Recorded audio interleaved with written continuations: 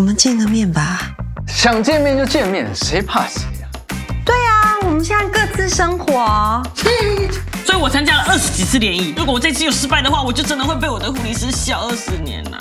我想要做轻保养。我们全脸的疗程是八到十分钟。